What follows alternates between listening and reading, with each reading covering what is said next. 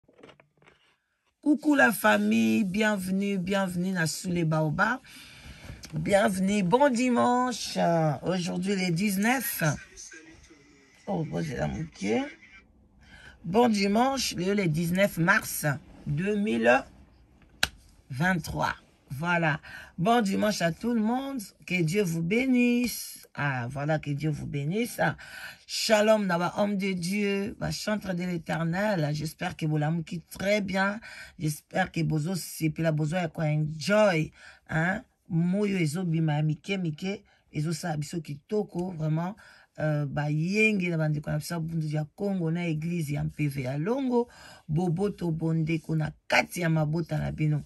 bandeko na ngai toye tozolamusa kaka conscience toyeba verite pourquoi Rita Kimanga oyo atikali na defaut atikali na gout ya atikali na mungwa atikali na sukali na lolemo ya ndeko mobali beauté image azokoka te na tiktok azopete baner donc aza kolela butu na moi donc abeli maladi maladi ya bolingo bandeko na nga eske maladi wana kisi nango eza nini mpo na nini akokoma ti na niveau wana bandeko sans tarde nazotyela bino bolanda na bokebi nyonso to eloko nini ezolangwisa ye eske beauté image akozongela ye lisusu eske akotika coquette eloko nini bandeko na nga ndeko mwasi akomi na 53 ans beauté image 31 ans azali mwana oyo akoki kobota aboti ye mpenza bato ebele baza na ba 5 ans 3 ans baza na bana ya ba 33 ans babotaka na ba 20 ans baza na bana mosusu babotaka kutu na 18 ans baza na bana ba 35 ans bamosusu babotaka na ba 16 ans bakolisi bana sikoyo mwana oyo ye moko aboti akobota na mokili problème eza te atombe amoureuse na ye me ntango mwana wana acoli balobi le petit poisson deviendra grand ntango petit poisson akoli akimi ake koluka yaya ake na ye ake mpe so wapi epai ya mama mosusu ndeko mwasi atikali na mungwa na sukali na monoko a, donc akomi, na, akomi lokola mbwa abeli liboma bandeko tokosunga ye ndenge nini ava bosunga ifo boyoka histoire eloko nini ezodokisa ndeko mwasi mpo na nini boye aza mpe na bana na kati ya ndako aza mpe na bakoko ntango mosusu mpe bafo bazala na ye deja aza na mwana aboti na beauté image bandeko sans tarde tozolanda bokebi nyonso bolanda boyoka mpenza nezape pa hein, nezape pa bandeko nanga bozape te bozela olala oh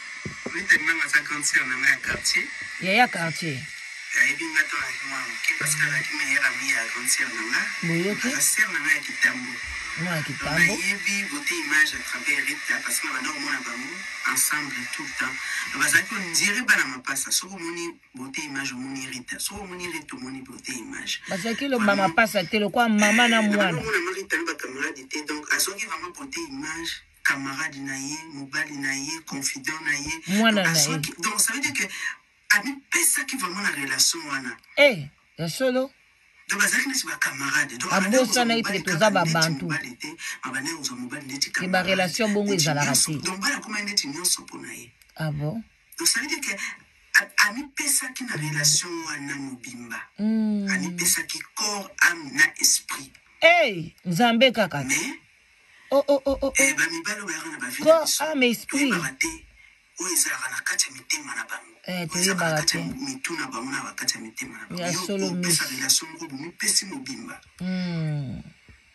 Eza te ke eza te ke couple oyo ezalaki ke mwasi abanda na gauche mobali abanda na droite non. eh. Te, eh. Ezalaki vraiment couple oyo bavandaka ensemble. Ah.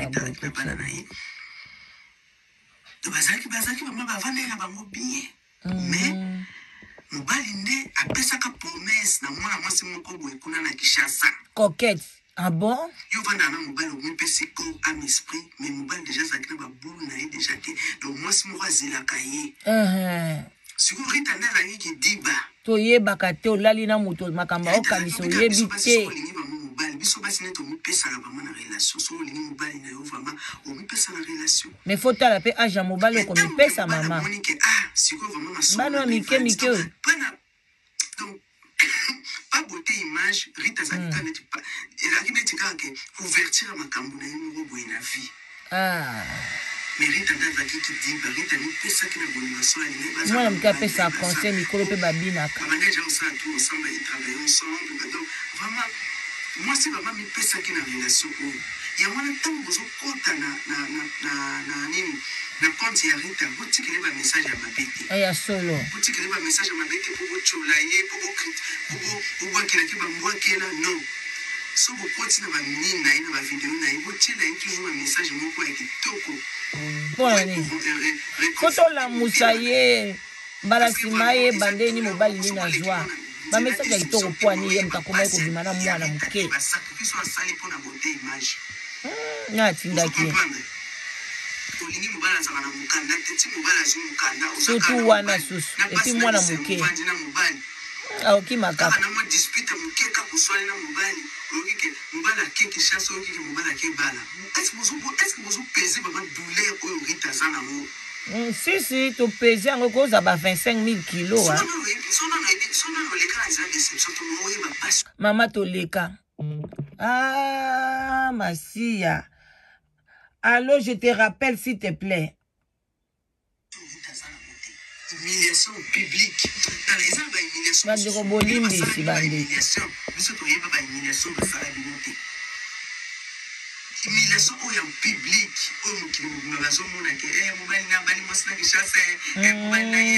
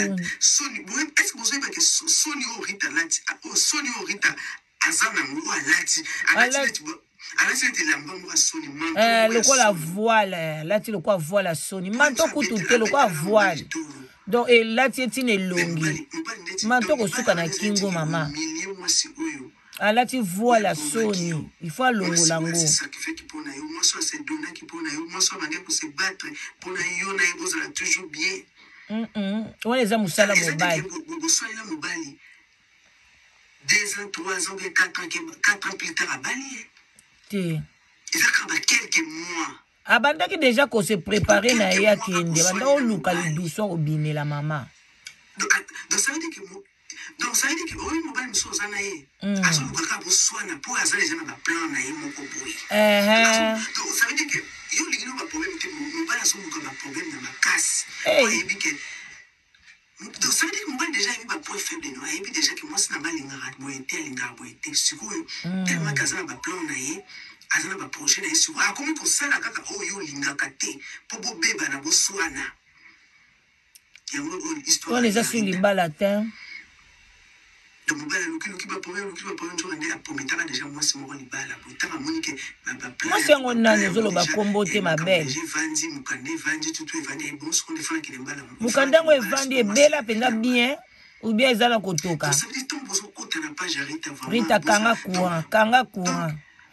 kata moto biloko wana ebela te mokanda wana ebela te esukaka na nzela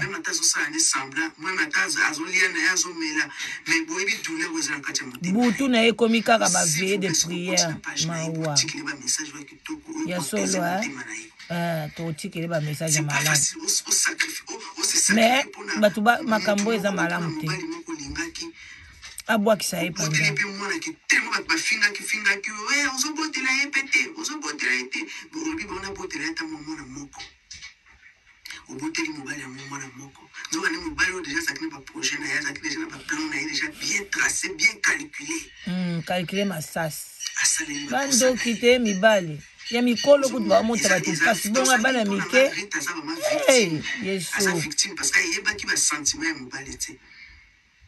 ayebaki yango kobala mwana moke otya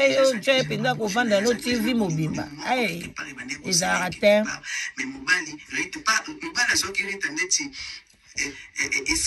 katulakiadi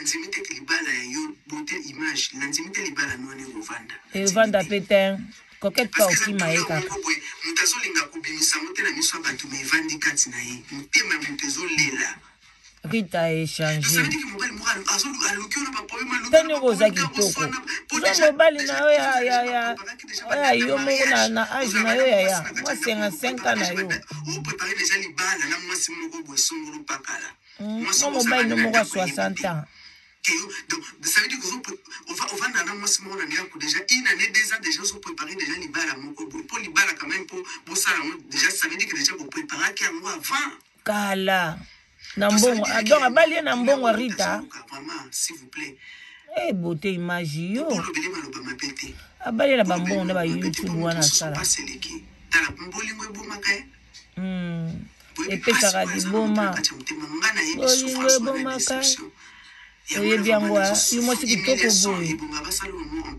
mis yo mpe oyebi yango eh? antuka mibali baa mabe eh? yo mwasi kitoko boye mpe mobali akenda evanda te biso bamama mikolo toleki ye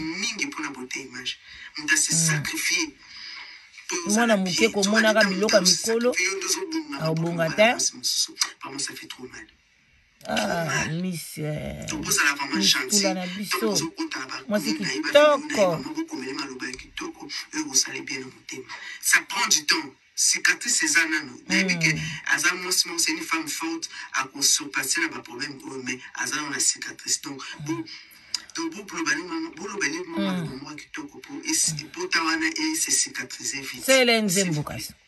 sele nzembo voilà bandeko boyoki sali sali sali sali boyoki mwana quartier leki ya rita ye alobeli biso alobi en tout cas bandeko déception ezalaka ya mpasi esalaka mpasi bandeko na nga wana toyebi yango très bien parce que sur 100 basi en tout cas 99,9 bakutana na badeception ata soki badivorsa te mais bakutana mpenza na badeception yango wana bandeko na nga toza kaka koloba toza kokende malembe malembe voilà euh, tosuki wana te tomoni mpe ndeko ya mobali alobi atikali mpe nsima te alobi ye mpe akotikala na nsima te ye mpe aye aye awa alobi ye mpe aza koloba ya ye alobi boloka de mibange mm. de koko mm. mikoli mikuli baya beyanga kokete sasa 45 ans yoka rita kimanga 53 ans bawele mobali nani bote image 32 ans Oh. Coquette abeti remontada abeti rita imanga ki sambeti sabo yes, coup de yes. tete lopete ekoti na mosapi mm. koto mpe rita imanga akangi bote match kati kati américain nani Alobi mwa mokanda ba pesa ye wana ya un ans ava renouveler ngo faut ye azala soki esili ako tuna ngulu to nzela kini okatana coquette nzela poto bosana nga sali kaka analyse matière bote maji na mwa taille eza na ngo alingi basa mikolo boye bitumba eza awa eza ya depakala de mibange de koko mikoli mikuli Maya Beyanga. Coquette Sasa, 45 ans. Rita Kimanga, 53 ans. Mwana oyo baloka ye na famille na bango eh. Bote image aza ya koloka. Bote image, 32 ans. Coquette abeti remontada abeti Rita Kimanga kisambeti sabo oh. coup de tete. Mm. Lopete kote na mosapi. Koto pe Rita Kimanga Akangi beaute match catch catch americain alobi mo mukanda bapesa ye wana ya un an avant renouvelle ngo fo ye azala soki esili akotuna ngulu do nzela kini okatana coquette nzela poto bosana Voilà. Bandeko na ngai tosili koyoka boswi koyoka bino moko mpasi oyo rite azotambola nango ti na moi ya lelo azokoka koaccepte te ke mobali oyo azalaki na ye akoki kotika ye ndenge babandaka koswana nde bandaki kolingana nde babandaki kobongisa ndenge abunda bitumba epai ya basi oyo ye amonaki ke kutuke donc eh, eh, eh, bote image akwaki kokende basi ya age na ye mais bote image atikaki kolinga so mokolo place ezo kotungisa ye azomitala eloko nini oyo ngai naza nango te ngai mwasi ya poto ngai mpe nabotaka kokete mpe abota me mobali akeye mpa kokete bandeko na ngai bakestio ebele na bolingo kotunaka te tala kaka likambo oyo ndenge ekomeli yo oyebaka ndeni obima soki obandi kotuna bakestio ebele okozwa mpe bareponse te parce que mibali biloko bakendeke koluka na basi mosusu toyebi yango te so soki oke mpe pa na ndako ya mwasi wana oke kuta desordre oke kokuta salite oke kokuta soki ozo comprendre te mais comment mobali na ngai atiki soin akei na ye donc bamibali ebele baza lokola bangulu donc ngulu ata osokoli ye lokola bote image aza lokola ngulu ba osokoli ye osokoli obongisi ye bien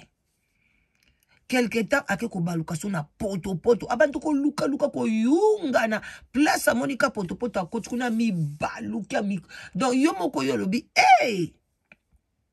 sikoyo bana omituna question ndeni eza nature na bango eza nature ya bangulu ezalaka bongo eza nature ya mibali eza bongo question nini yo kotuna yo sikoyo na place wana yo moko miyebela eske na korekipere su ngulu oyo nasukula ye lisusu ubie obwakisi otiki akende na ye na potopoto moto mosusu azwa ye moto wana mpe akozwa ye akosokola ye akosalela meme chose yaya sikoyo yo okotika vi na yo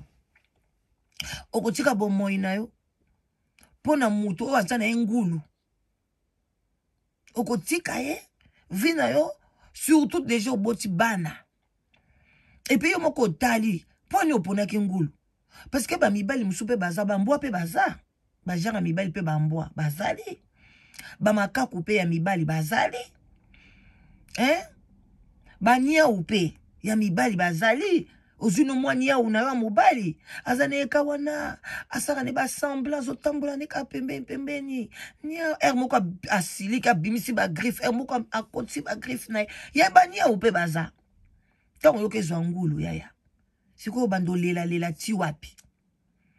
eh? mobali mpe azotika batiktok te aza mpe moto ya réseau sociaux atya image oyo mabe balia shokola mabe balala moke banda mwasi batie babina batie donc mobali mpe akoma osala théâtre parce que ake kobala mwasi ya comédienne bakomi kosala comédie na bango me yo rita sikoyo okomeli biso kolela lela lela basalaka video bokoti obandi kofinga basala boye ofinga na kikongo mabe okomi ti kofinga na kikongo bayo komela komela bato kia mama ku kia tata ku yaya okota lola kaka te mpo na ebote image mwana moke ya ndenge wana mpo na ozongisa basi ya poto soni boye baloki na france mibali baza ebele live together ezali awa boya kokomisa ntango nabenga bino yaka kozwa mobali ya bien mwasi ya malamu awa na live together boboyaka ah mwasi yango kutu bamibasi mibali nini yango abalisa basi nini yango abalisa ebele nabalisa bandeko ebele ebele mais eza likambo ya discrétion soki oye okomisi okomona makambo na yo tokopesa mobali ya kitoko soki parce que libala mwasi moto avandisaka yango ya libala live together mwasi moto avandisa yo nde ovandisa libala na yo yango wana biso topesa bamibali ya bana mikie te lokwa babote image bote image soki aye awa na live together topese mwasi ya 20 ans topesi mwasi ya 25 ans suka 25 ans ta mosusu 26 ans tokopesi kutu mwasi ya 30 ans te parce que aza motu baza nano na maturité te ana mobali te mpenza oyo babengi mobali ale yo siko mama oleki 50 ans okoki kokangama na ye bongo ya nini yango kuna koyokisa basi ya poto soni comme si totula mais soki olingi kende maroc katisaka na grèce wana kee luka mobali ya mokolo baza ebele bazanga mpe bapapier zwa moko wana yaka soki osala marke depose na yo omona résultat kitoko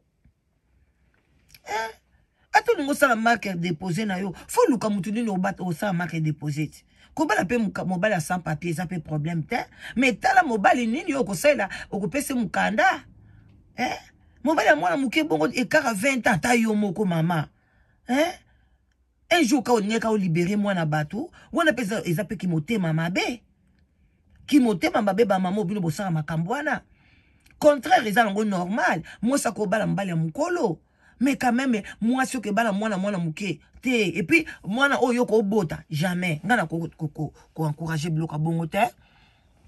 tokoma makambo ya kitoko na page na ye tolobela rita makambo ya kitoko makambo nini ya kitoko topesi mpo parce que azoluka mwana bato mwana nape aza na mama na ye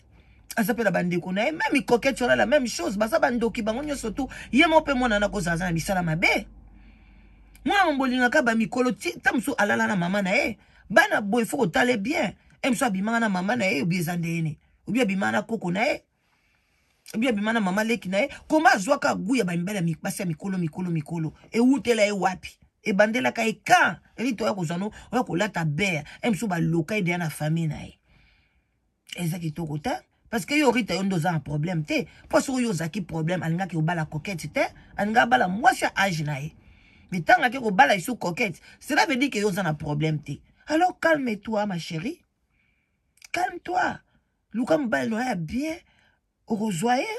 mikolo mpe en tout cas banda baboyi yo ah comme si bafungoli yo eh, cle ya, ya bote tani okomi kopesa bote te ozangi na bote image ozali lokola nzuluka lokola soki owuti wapi lokola okende owuti opupula bafufu kopupula makala me banda mwa mobali wana akei tala ndenge obandi kongenga tala ndenge bote no ezongi mpe oza na belle taille taille oyo bato bazoluka basala bagymnastique mpo na bakonda rita yo oza na taille wana ya kitoko wana yaya mipesa valeur eh.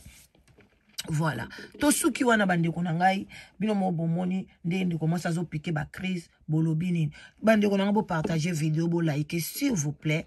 je vous love nalinga bino mingi tokokota live lelo En tout cas ba sujet eza ebele tokokota live pona manike toyebi te azoluka nini alobaki bakunda koko ya njora topresente eh, njora ba condoléance ebele na sule baoba tokoya tomeka na kotala problème nini manike aza nango mpona koko ya njora oyo asili kotika biso blessure eza nano na motema mais azali koloba oyo akokaki koloba voilà bandeko na nga je vous love partager la video like ekozala kitoko makasi bon dimanche